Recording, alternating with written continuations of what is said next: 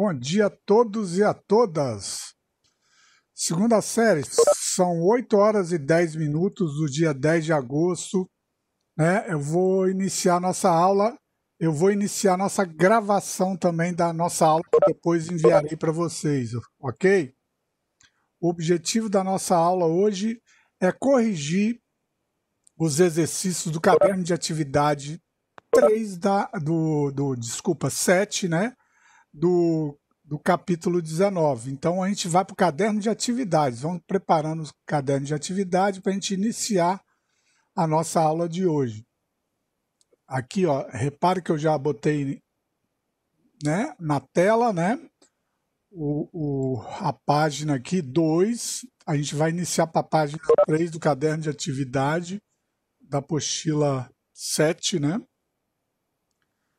E vamos lá, então. Vamos começar, então. É... A primeira pergunta aqui, ó, na página 3, nós temos aqui um mapa que ilustra a, a urbanização ou a população urbana no ano de 2013, né?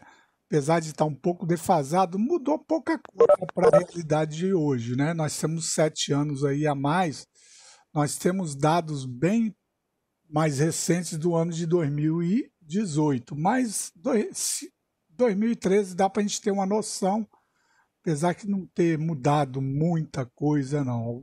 algumas particularidades só. Então vejam bem, gente, na questão 1, a gente tem aqui a distribuição da população urbana nos continentes, né? Aqui na, na, na nossa legenda, a gente pode perceber Quanto mais escura for a cor, né, no marrom, mais urbanizada essa região. E vice-versa, quanto mais claro, menor as taxas menores serão as taxas de urbanização. Ó, com base na maior, aí ele quer que a gente identifique aqui os continentes onde eu tenho maior, os maiores índices e os menores índices de urbanização. Então, com os maiores índices de urbanização, a gente pode perceber, de acordo com o mapa aqui, né, os continentes europeus, né, América do Norte, parte da Oceania, né, e América Latina também com, com, com elevado grau de urbanização, tá? apesar de ser um, um, um território que predomina o subdesenvolvimento socioeconômico, a gente tem uma elevada taxa de urbanização. Então a resposta para essa questão aí é, bom dia, Pedro. A gente vai botar aqui, ó, os continentes com maiores quantidades de países urbanizados, acima de 66%, são eles: Oceania, América, Europa e Ásia. Os continentes, bom dia, Yasmin. É, os continentes com menores quantidades de países urbanizados estaria na África, né, de modo geral, e parte do sul-sudeste da Ásia. Então, essa seria a resposta mais objetiva, mais correta para vocês aí. Repare que, só lembrando que eu expliquei nas nossas aulas anteriores, que hoje, em pleno 2020, ocorre um equilíbrio entre populações urbana e rural no mundo. Hoje, cerca de 55% da população mundial, pegando, tirando uma média, é urbana, 45% rural. Repare que ainda nós temos um equilíbrio aí, mas a tendência é aumentar a taxa de urbanização no mundo. Beleza, galera? Vamos lá para a questão 2. Ainda em relação à questão anterior, avalie a veracidade do questionamento a seguir, elaborando um texto entre 5 e 10 linhas. Vamos lá. A gente pode fazer isso aqui né, pegando algumas palavras-chave para vocês montarem um texto.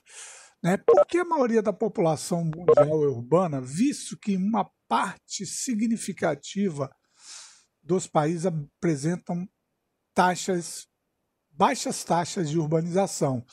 Isso é, a gente pode destacar aqui a forma de distribuição da população no mundo. Somente a Índia e China hoje corresponde a quase 30% da, da população urbana no mundo, né? ou desculpa, da população absoluta no mundo. Então ocorre já um desequilíbrio, né? E a Índia tem, e a, e a China, os dois países têm uma elevada taxa de população vivendo ainda no, na, no espaço rural. Então, ó, aqui a gente pode destacar é, podemos observar que a maior parte dos países se encontra na taxa acima de 51%. Né?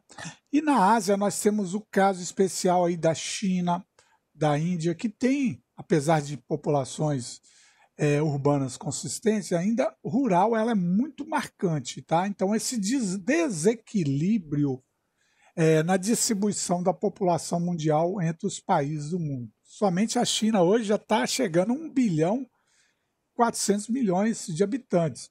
Todo o continente europeu tem 770 milhões de habitantes. Então, um país, né, que é a Índia, ela tem uma população quase que o dobro de todo um continente europeu. Né? E olha que na Europa nós temos 48 países e a China é um país só. Então, o que um texto vocês destacando a, a distribuição irregular da população rural e urbana no mundo, destacar China e Índia e alguns países lá do Sudeste Asiático que tem uma, ainda um elevado grau de população vivendo na área rural. Então esse textinho aí, ó, tem aqui, né, uma, uma dica para vocês aqui, tá? É... Repare aqui que ele destaca, ó, é, a população acima de 51% de muitos países, acima é, é muito grande já, né? A Ásia detém uma quantidade expressiva de pro, proporção da população mundial, como China, Indonésia, Japão. Então, repare que na América, é, os Estados Unidos, Brasil, México também têm elevadas populações de elevadas taxas de urbanização. Agora, a contradição de muitos países ainda com baixa taxa de urbanização é no número de países que nós temos espalhados aí, mas em população absoluta a gente vê uma diferença aí consistente, beleza? Bom dia, Fernanda também. Vamos lá, é, vamos continuar, vamos continuar nossa correção aqui, já partindo para a página 4, né? Do caderno de atividade, repetindo. Repare aqui, Analise o gráfico e escreva em quais regiões já havia mais da metade da população urbana na década de 1950, entre, as entre a década de 50 e 2010. Aqui nós temos o gráfico, a evolução da, da população urbana, né? Aqui a porcentagem ó, na ordenada e abscissa, tá vendo? A distribuição da população pelos continentes, ó, africano, asiático, europeu. E olha o que, que vocês já podem responder. Na década de 50 já havia uma maior parte da população vivendo na Oceania, América do Norte e Europa. Em 2010, a América Latina e o Caribe, né, que é a América Central e Sular, apresentam uma alta taxa. A evolução foi da urbanização aqui na América Latina e Caribe foi tardia. Na Europa, Estados Unidos, Japão, ela ocorreu em períodos anteriores, tá? Então aqui, ó, uma resposta bem básica para vocês, interpretação de gráficos, tabelas. Isso é muito. Vocês precisam muito é, praticar esses tipos de exercício. Eu gosto muito desses tipos de exercício que tem. A resposta é você pesquisar na, na própria fonte, né? Interpretar os dados aí. Então, reparem como é fácil responder essa questão aqui, né? Vamos avançando aqui. Questão 4, ainda na página 4. Com o processo de urbanização, as cidades já passaram a desempenhar um papel cada vez mais central em relação ao espaço rural. Justifique por que isso ocorreu. A interdependência entre cidade e campo. O campo hoje ele ele se tornou um, um espaço ainda mais dependente do espaço urbano. Por quê? Muitos produtos que saem do campo vão para a cidade, eles são industrializados e retornam para o campo. Vários serviços hoje, hoje né, prestados no campo, eles vêm das cidades e, lógico, e também já estão bem assentados no campo, né? Hoje nós temos a eletrificação rural, que é uma, uma realidade em grande parte do mundo dos países, principalmente nos países desenvolvidos o acesso à comunicação, as vias de meios de transporte, né? o, o, o, o acesso também ao campo, né? quem vive na cidade depende muito de serviços mais essenciais e de melhor prestação de serviço e qualidade, que são serviços bancários, hospitalares, educacionais, serviços de comunicação. Então, o campo ainda é, ele continua muito dependente da cidade, essa interrelação a cada vez mais estreita entre os dois espaços aí, tá? Mas é o campo hoje já produz tecnologia muito de forma muito similar que o, o, o espaço urbano produz, mas ainda assim depende muito de serviços essenciais da cidade, por exemplo, como o sistema financeiro, bancário, né? Hospitais mais equiparados, mais bem equiparados, é, sistemas de ensino assim mais variados, né, que dão uma possibilidade de, de, de acesso à educação e os meios de comunicação também, a internet e tantos outros mais que a gente sabe que hoje é muito comum, tanto no, na cidade quanto no espaço rural. Qualquer dúvida, vocês vão pedindo é, explicação, vamos interrompendo aqui, vamos, falar, tá, gente? Um fenômeno urbano recente na história das cidades diz respeito às cidades globais. Se lembra que a gente estudou? As cidades globais são aquelas grandes aglomerações urbanas que têm uma ordem de influência enorme no mundo. A gente vai até ver no próximo capítulo isso com mais consistência, tá? cidades globais, mega cidades, eu acho que nós já vimos sim, já no capítulo 19, sim. Então, as cidades globais são aquelas que têm uma influência dentro, uma influência política, econômica, né, de infraestrutura dentro do seu território e mantém uma conexão internacional. Uma cidade global aqui dentro da nossa nosso país, São Paulo. Por que, que São Paulo hoje ela pode ser considerada como uma cidade global? porque ela tem é uma, uma grande metrópole, é uma grande metrópole nacional, né?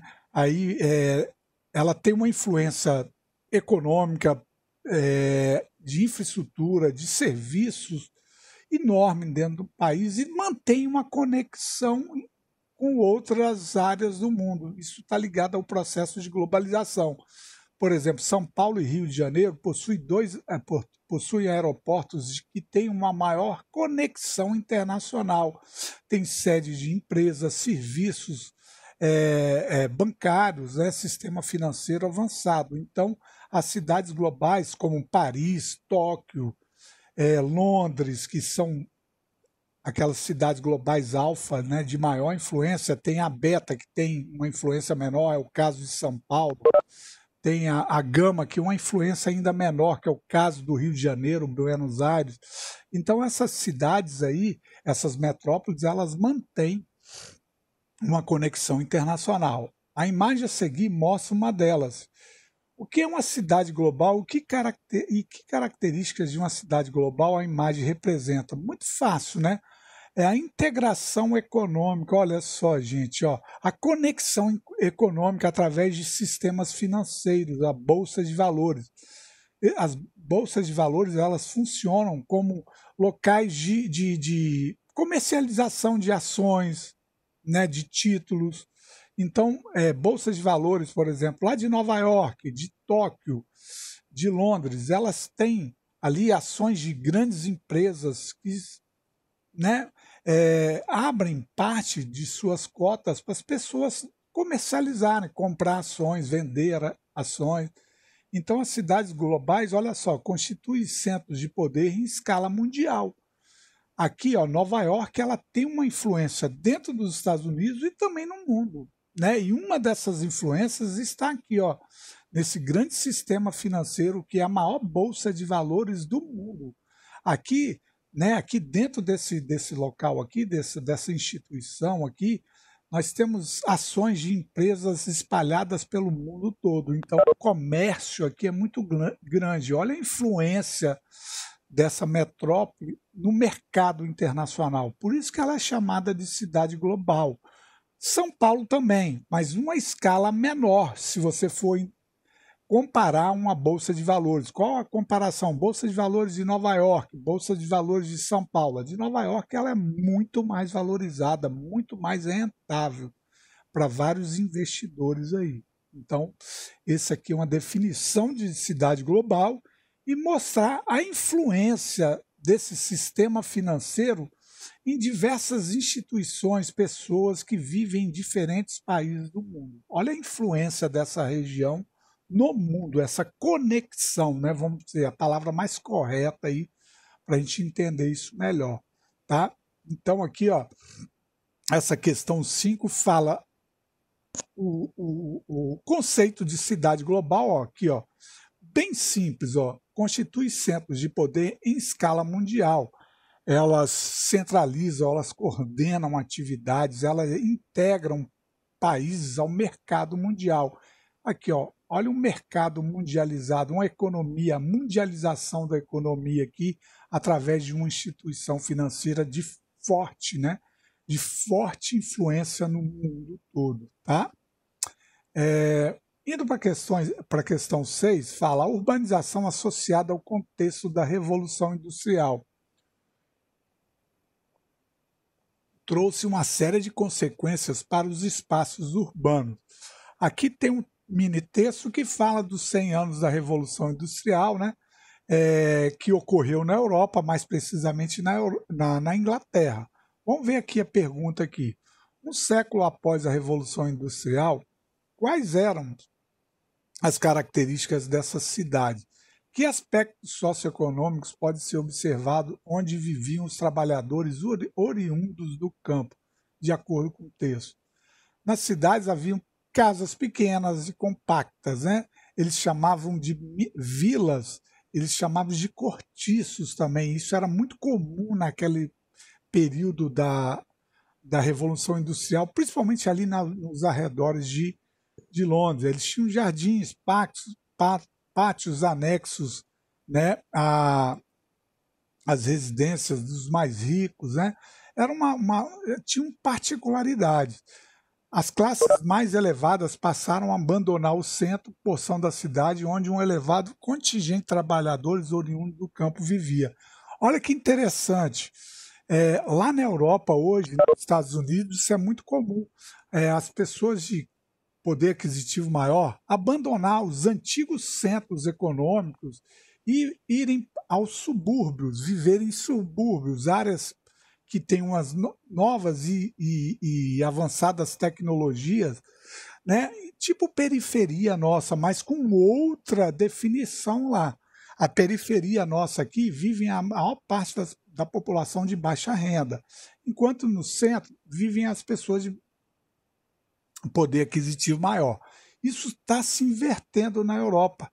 Nos antigos centros econômicos europeus, eles foram caindo de. de a, a, a, foram desvalorizando é, é, economicamente falando, né? A qualidade de vida foi caindo devido ao elevado grau de, de, de poluição, né?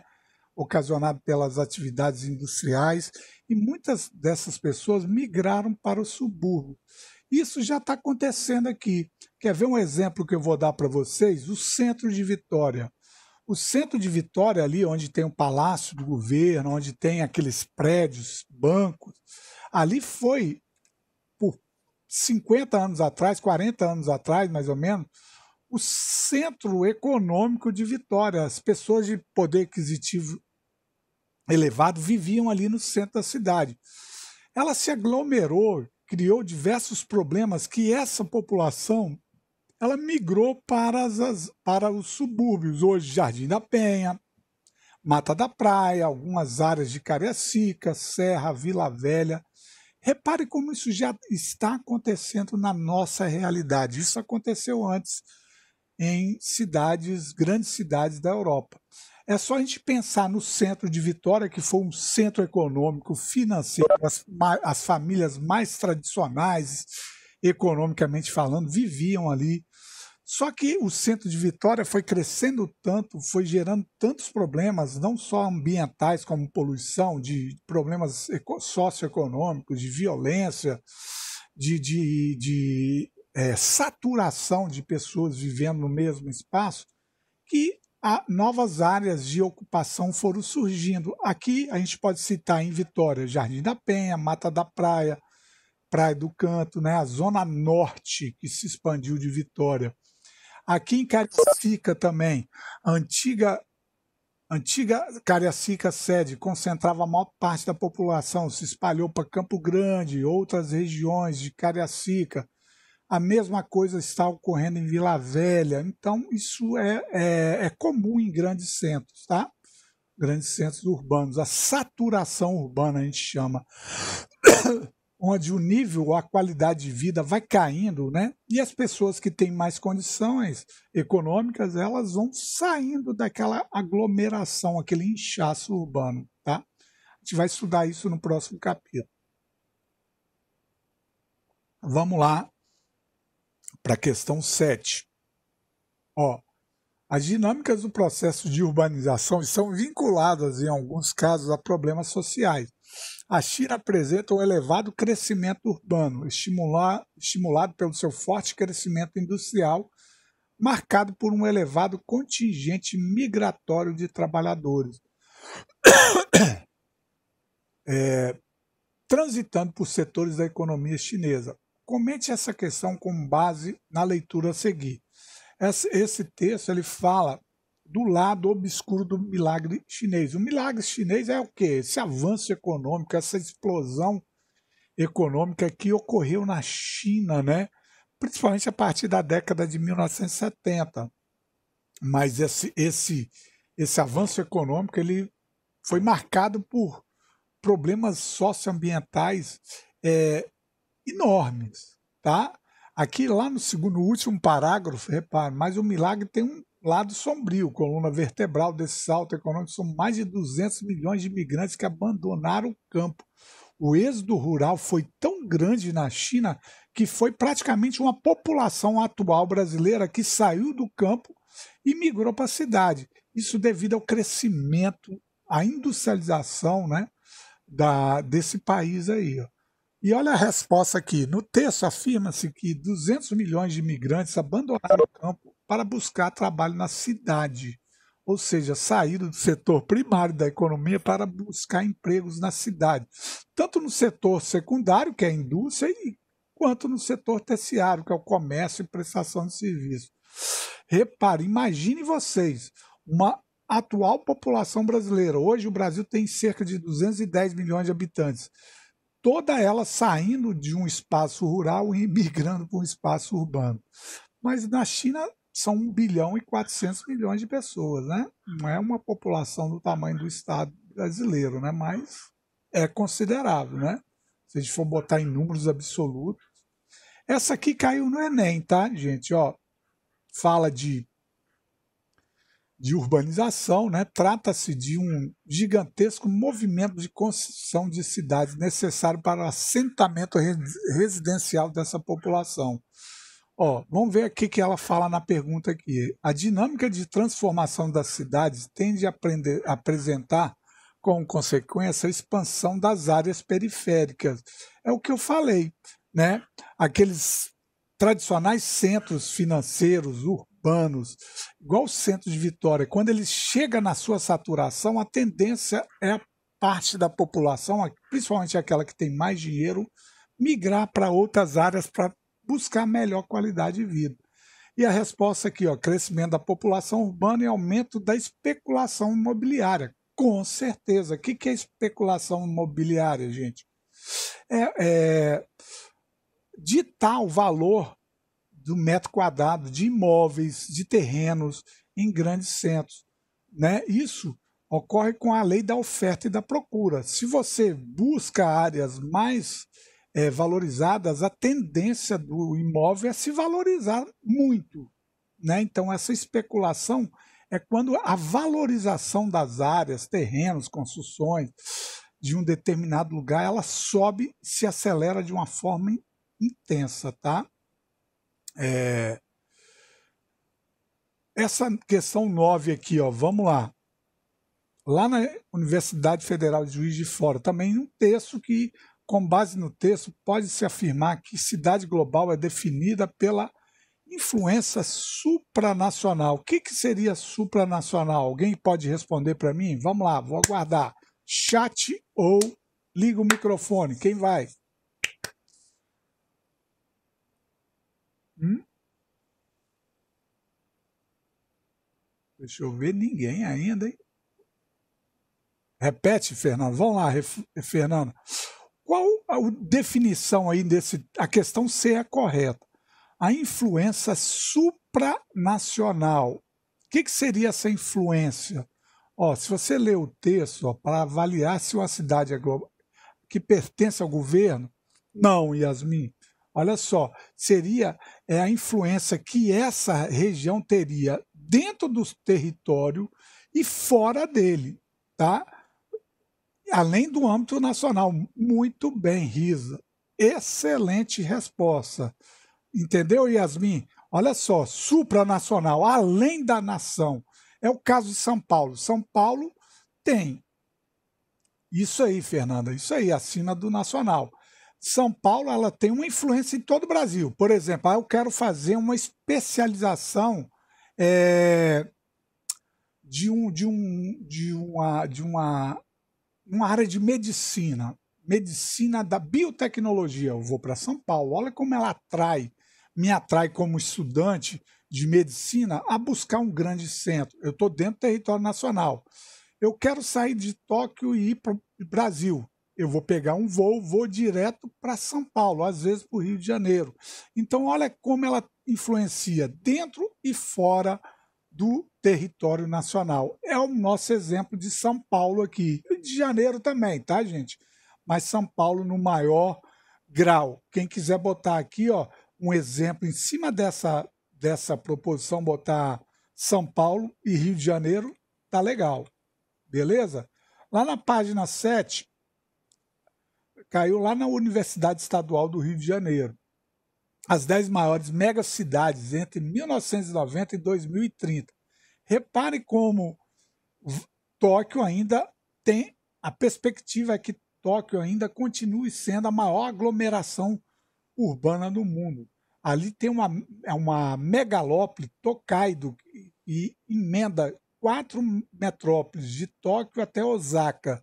São mais de 45, 42 milhões de habitantes vivendo naquela aglomeração urbana. Não veja bem que não é todo o país, é a junção de metrópoles. A gente chama de megalópolis ou megacidades, aquelas, aquelas grandes aglomerações urbanas, geralmente acima de 10 milhões de habitantes, que juntam duas ou mais metrópoles. Tá? Repare como Osaka tende a perder a, a posição de maior aglomerado para Delhi, na, na Índia. Nova York para Xangai, na China. Olha só, cidade do México para Mumbai, na Índia. São Paulo para Pequim. É, reparem como tem uma ordem aqui, ó. Olha como 2030 a tendência é mostrar que os países emergentes aí, ó, reparem aqui, ó, Tóquio é um país desenvolvido, ou desculpa, Japão é um país desenvolvido, Tóquio é a capital do Japão, desculpa. Delhi é uma cidade da Índia, país subdesenvolvido, emergente. Xangai, país emergente na China, né? A mesma coisa aqui, ó. Ó, reparem como a tendência de 2030, a partir de 2030, é as, as, as megacidades serem concentradas mais em países emergentes do que países desenvolvidos. Ó, o conceito de megacidade contribui para o entendimento do processo de urbanização em diferentes países do mundo. Na tabela mostram-se dados passados e projeções de ocorrência no mundo desse tipo específico de aglomeração urbana. É, nem sinal do Brasil. São Paulo aí vai estar, olha, o Fernanda, São Paulo, deixa eu ver, ó, ele estava em quinto. A tendência é ele ficar lá entre as 12 maiores megacidades do mundo a partir de 2030. Ele ainda é o quarto ou quinto, é o quinto aqui, ó, maior aglomerado urbano até hoje, tá? Do mundo. Nós temos aí um, uma metrópole brasileira com hoje cerca de 22 milhões. Metrópole de São Paulo não é só a cidade de São Paulo, é cidade de São Paulo, que é a metrópole, a cidade polo, e o entorno dela, que envolve, se não me engano, são mais 32 municípios. Essa aglomeração urbana tem hoje cerca de 22 milhões de habitantes. Nós temos nossa mega é, é, é, aglomeração urbana aqui na nossa região metropolitana de Vitória, que está chegando a 2 milhões de, de, habitantes, não chega nem perto de São Paulo. Né? São Paulo, 10 vezes maior do que nossa aglomeração urbana aqui. A nossa região metropolitana é composta por sete municípios. Vitória é a metrópole, cidade-mãe, e as áreas conurbadas vizinhas ali, Cariacica, Vila Velha, Viana, Serra, Fundão, né? Então a gente tem esse aglomerado urbano, a gente vive numa região metropolitana da Grande Vitória com quase 2 milhões de habitantes. Então vamos lá, apresente o critério demográfico que define megacidade. Olha só, para a Organização das Nações Unidas, megacidades são aglomerações urbanas superior a 10 milhões de habitantes. Ela leva como critério principal o fator quantitativo, gente, a quantidade de pessoas que vivem é, nesse aglomerado urbano, tá? No início do século XX, cidades que tinham mais de um milhão de habitantes eram consideradas muito grandes. Olha lá, hoje para você chamar de mega cidade, ela tem que ter 10 milhões de habitantes para cima. Isso é o, o, o, de acordo com com que vai também crescendo o número populacional no mundo, né? Isso vai de, de acordo com é, o número populacional daí da, da, das regiões mundo todo aí. O Brasil hoje tem cerca de 209 milhões de habitantes maior aglomerado urbano é São Paulo, depois vem Rio de Janeiro, depois Belo Horizonte, tá? São as três maiores regiões metropolitanas do Brasil. Beleza? Vitória, a região da Grande Vitória, eu acho que ela é a 12 maior, é o 12 maior aglomerado urbano. Repare, eu estou falando da região metropolitana. O município de Vitória em si ele tem cerca de 450 mil habitantes. Tá? Cariacica é um pouquinho mais populoso que Vitória. Está no pau a pau, entendeu? Mas vamos lá, gente. Então, ó, o conceito de megacidade é no critério principal é o critério quantitativo, o número de pessoas que vive dentro daquela aglomeração urbana. E hoje a ONU ela classifica uma megacidade como aquelas acima de 10 milhões de habitantes. Aqui no Brasil, só duas, tá? São Paulo e Rio de Janeiro. Não, Rio de Janeiro não. Rio de Janeiro, não, a metropolitana tem, tem sim. São Paulo e Rio de Janeiro, acima de 10 milhões, beleza? É, vamos lá para a Fundação Getúlio Vargas, questão 12. É uma questão objetiva, ó, lançamento das cidades, estado das cidades da América Latina Caribe, produzido pelo Programa das Nações Unidas, Assentamentos Humanos, em 2012. Sobre esse relatório, o que, que a gente pode destacar? Cerca de cerca de 80% da população vivendo em cidades, a região formada pela América Latina e pelo Caribe figura as mais urbanizadas do mundo. Essa questão é terrível de difícil, tá? Sabe por quê? Eu acredito aqui, depois vocês podem me confirmar, que poucos de vocês botariam essa questão letra D como correta. Sabe por quê? Vocês iam pensar, e eu, eu, eu entendo, que vocês iam pensar, peraí, América Latina, Caribe são regiões subdesenvolvidas, então muitas pessoas estão vivendo no campo ainda. É uma questão difícil, mas olha, pouca é, América Latina que vai do México, América Central e América do Sul é, tem padrão hoje de urbanização de países europeus. O que, que explica isso, gente? A fuga, o êxodo rural nessa região, principalmente pela concentração de terras lá na, na América Latina. Concentração de terras, a gente já estudou a má distribuição de terra.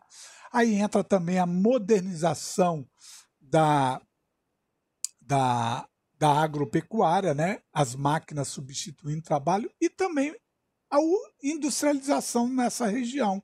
Ela vem depois, ela vem no século XX. A gente vai estudar industrialização na, na próxima apostila. Então, o que, que acontece? Essa região aqui, ela atraiu muitas pessoas do campo, mas isso não quer dizer que hoje elas vivem com uma excelente qualidade de vida. Pelo contrário, vivem em cidades, em inchaços urbanos, favelas, trabalham em subempregos, trabalho informal. Isso acontece no Brasil e na América Latina. Não foi uma, uma, um crescimento urbano com qualidade, foi com quantidade. Então a letra D aqui é a correta, tá? Então vamos lá. Aqui tem também, ó, considerando o mapa e seus conhecimentos, podemos afirmar. Reparem aqui as megalópolis, cidades com mais de 10 milhões de habitantes. Reparem aqui, ó, olha os Estados Unidos, tem três megalópolis, ó, Bolshoi, Sansan e Chiptis.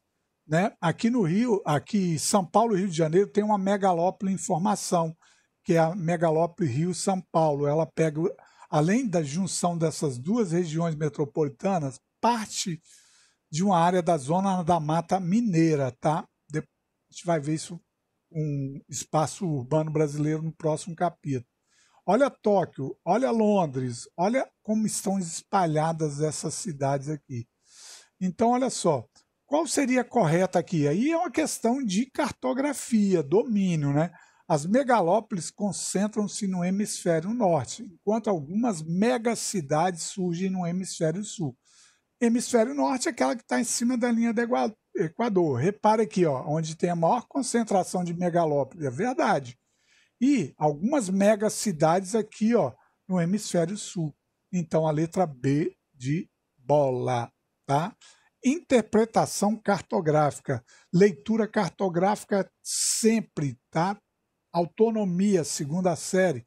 Não esperem o professor pedir para vocês é, buscarem a, a, a, o reforço em cartografia. Tem que fazer isso direto, tá? Na questão 14, lá de Mato Grosso do Sul, mundialmente a população urbana ultrapassou a rural. Isso foi em 2007. Sobre esse aspecto, pode-se considerar que a superação da população rural pela urbana, mesmo como parte do processo acelerado no último século, né, resulta no movimento do capitalismo desde a primeira revolução industrial que se as, que assentou sobre a cidade a primazia de relações econômicas do modo de vida e correspondência. É uma questão meio dificilzinha assim, tá? Uma, uma, uma questão enjoadinha essa aqui, tá? Porque você tem que ler, tem que ter tem que organizar o tempo cronológico, a evolução econômica, desde a primeira revolução industrial até a quarta, onde nós estamos, né? Então, isso aí é uma questãozinha enjoadinha, tá? Essa aí caiu lá na Universidade Federal de é, GD, deixa eu ver se eu lembro. A cidade eu não lembro, não. Só sei que é Mato Grosso do Sul. Tá? Vamos lá. Na 15, civilização ou barbárie. Aí deve estar tá questionando os problemas urbanos e relações humanas dentro das cidades, né? É um texto que não dá para a gente ficar lendo porque não vai dar tempo, né? Mas vamos lá. De acordo com o texto, o signo da violência está em todos os lugares e na cidade, dos países periféricos onde a urbanização é cada vez mais intensa. A presença dos problemas urbanos contribui para o aumento dessa violência, então, a respeito desses problemas, afirma-se o quê? Ó?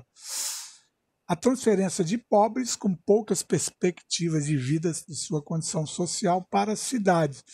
Olha só, o que, que vocês têm que entender aqui? Essa urbanização em muitos países subdesenvolvidos, ela ocorreu sem planejamento, né? ela foi muito rápida, desorganizada, e isso gerou problemas urbanos. Então, inchou aqui a área urbana e sem ter como receber esse contingente de pessoas que chegaram de uma forma rápida. Então, eles foram ocupando áreas de risco, eles foram ficando sem emprego, porque não a renda, emprego não foi absorvido por todos. Então, isso gera problemas que nós estamos acostumados aqui no nosso centro urbano. Aqui no Brasil, sem exceção, nós temos aí ó, uma palavra extrema, hein? sem exceção. Em todas as capitais brasileiras, olha o que, que eu estou falando, todas as capitais brasileiras, lógico, num patamar maior e menor, não são iguais. Nós temos vários problemas urbanos relatados aqui nessa questão. Isso é fruto de quê? Um péssimo planejamento urbano, uma urbanização tardia, muito rápida, descontrolada. Então, isso gerou mais problemas do que benefício para os locais onde a gente vive. Mesmo São Paulo sendo aquela grande, aquele grande centro econômico, nós temos problemas piores do que na nossa região metropolitana aqui, tá, gente? Em São Paulo. Ó, na 16 na Fundação Getúlio Vargas, relacionando o que o texto afirma com a realidade urbana contemporânea no Brasil, é correto afirmar. Olha lá, nas grandes cidades, o constante especulativo crescimento dos preços dos terrenos, em especiais nas zonas mais centrais, vem historicamente obrigando a população de baixa renda a se espalhar para zonas periféricas distantes. Olha só, não confundam subúrbio com periferia. Tem diferença sim na questão de qualidade de vida infraestrutura, né, meios de, de, de, de, de, de infraestrutura adotados sim. Professor, como assim especulação imobiliária? Yasmin, é quando a especulação está a supervalorização de imóveis de construção, de casas, de prédios, de comércio em um determinado local. Vou dar um exemplo aqui para você, Yasmin.